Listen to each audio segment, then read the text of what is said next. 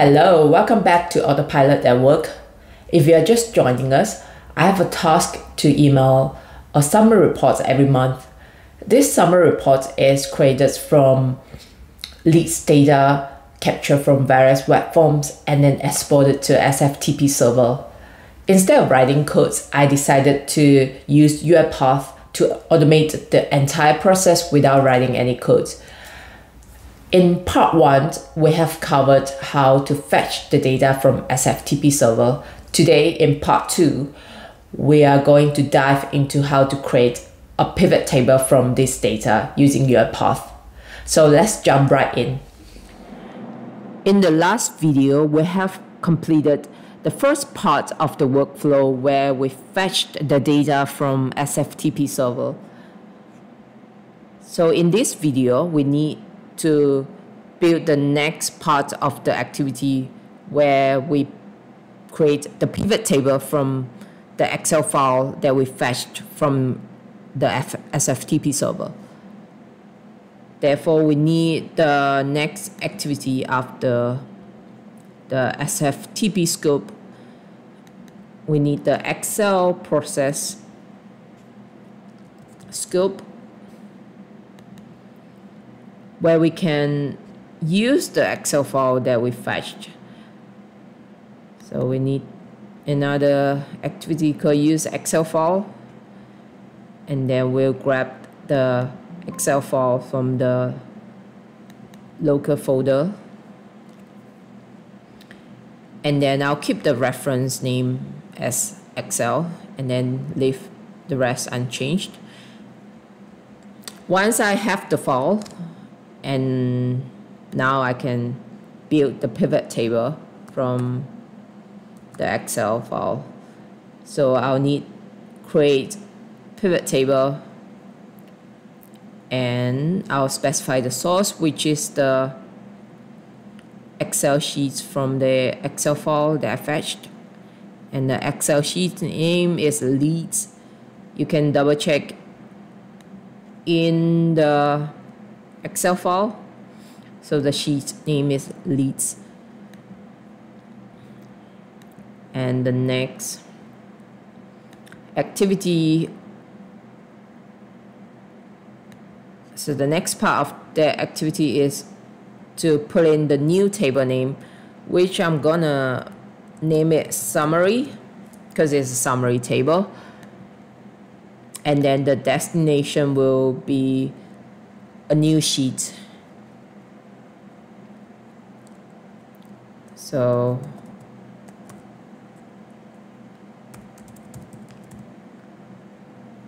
I'll use excel.sheet and I will specify the name of the sheet as summary and then I'll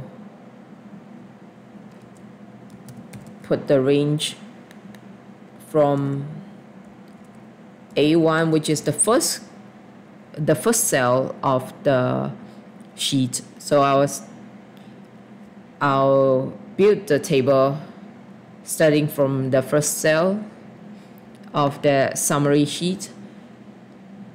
And the next thing we need to add it the is the pivot table field.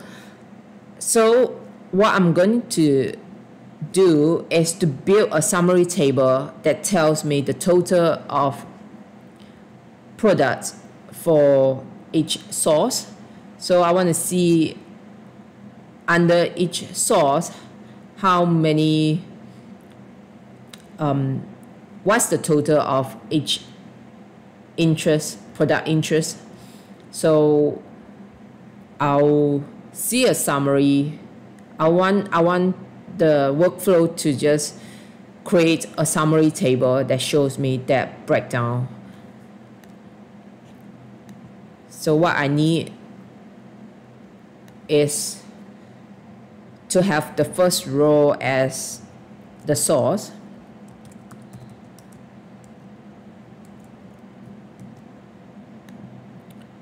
Followed by next row so under each source, I want to see the product under the col uh, the interest column. So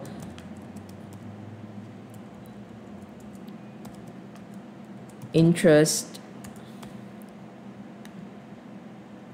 will be the in on the sec second row and then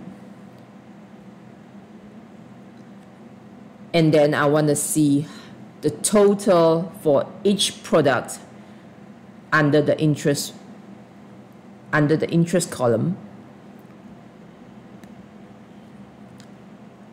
Therefore I, I will need to count the number of ID because assume um, so these IDs are um, unique.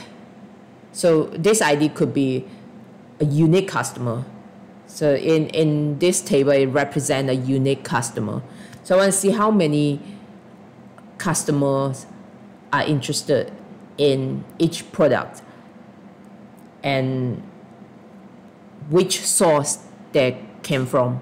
So basically that's what I want to see from the summary report.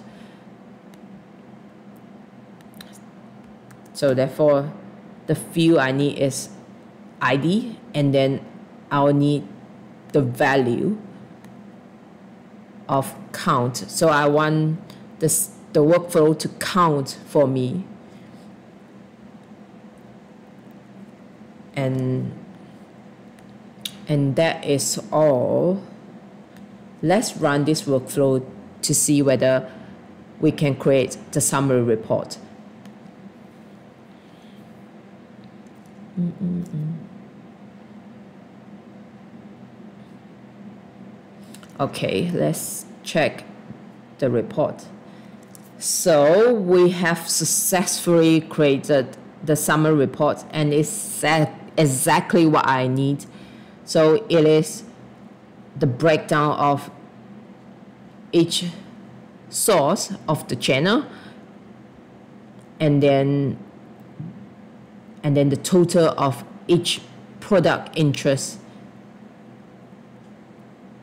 so I have all the product interest under each source and then the total of IDs for each of them. So, and then I also have the grand total for all of the products. And there you have it. We have successfully automated the creations of pivot table using UiPath.